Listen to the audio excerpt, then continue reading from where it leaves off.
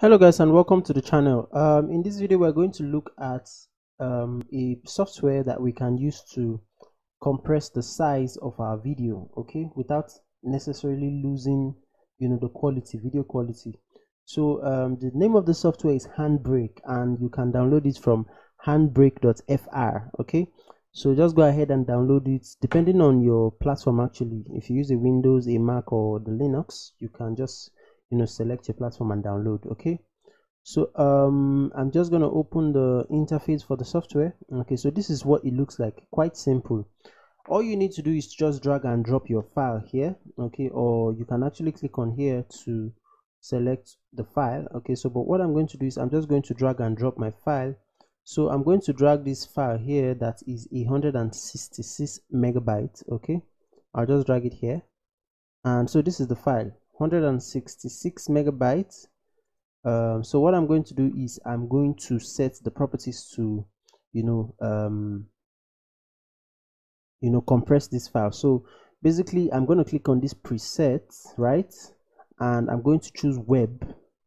And then i'm just going to come down to youtube hq 2160 p60 and 4k okay? And i'll select that and then for this um, area here just make sure that your web optimized and this align AV start is checked. And then come to dimension and set your width to 1280 by 720 pixels okay? You should actually do that. And I think okay so let's just look at the other area. So filters I really do not edit this other area. So there but then there's this video area where you can mess around with the quality of the video so i'm just going to increase this a little you know. And you know something like that. So i don't i don't mess around with the audio but you can actually add subtitles okay? So this is the subtitles tab here. You can add subtitles to your video okay? Um, so basically the last thing you need to do is to set the um, formats for the output. So this is actually m4v format. So i'm just going to change it to mp4 format and I think that's all we need here. So so it's going to be exported to my videos um, file. Okay but if you don't want that you can actually set um, a file you want like maybe a file on your desktop or something. So what you need to do next is to click on start encode. Okay.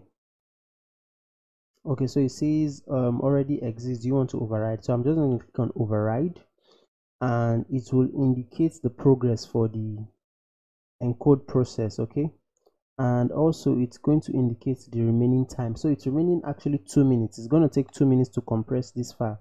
So what i'm going to do is i'm just going to pause this um, recording and when it's complete i'll come and show you what it, the size of the video.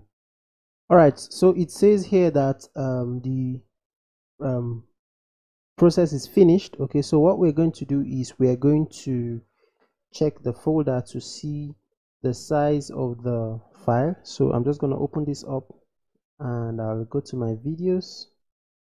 And this is the file here. So you see here it's 56 um, megabytes.